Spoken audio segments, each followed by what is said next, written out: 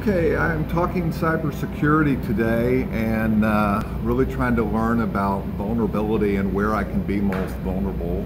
And uh, I've got an expert with me. Uh, where, where are we most vulnerable? Where are we most vulnerable?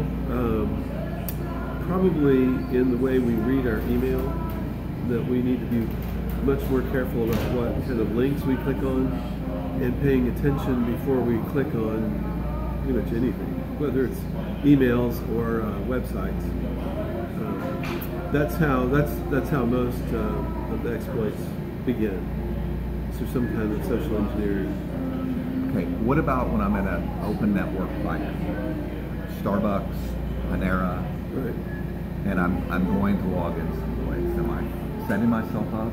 Well, those are, those kinds of um, of attacks or or uh, kind of man in the middle where where where you're vulnerable there is with somebody is in the in the uh, establishment that has a device that you will attach to, thinking you're attaching to Starbucks, but you're actually attaching to their attaching to their backpack.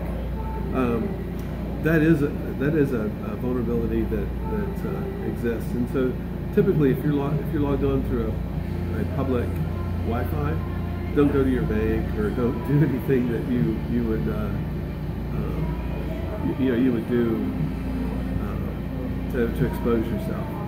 Right. Think about it, people. You know, it's really not an issue until it happens, and then it becomes a big issue. Right.